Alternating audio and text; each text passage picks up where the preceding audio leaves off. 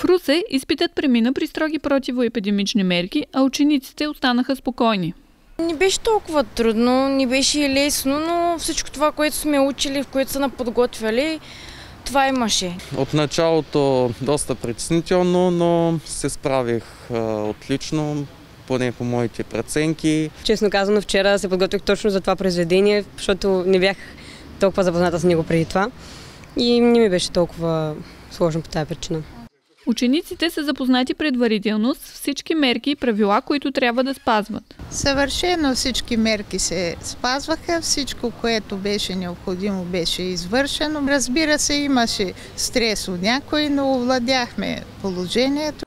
А в Бургас преписвачи на матурата не бяха заловени. Без закъснения започна изпита и в Морския град, като на входа на всяко училище на зрелостниците им беше измерена температурата. Двама от зрелостниците имаха малко по-висока температура от нормалната, от стандартната но едното дете е било алергично, другото също е имало някаква лична причина за това.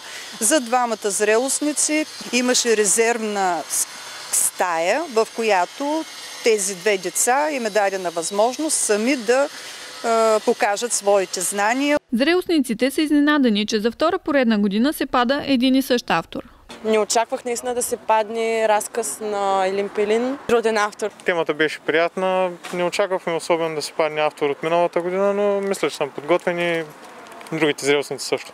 Втората задължителна матура за зрелостниците ще е на 3 юни.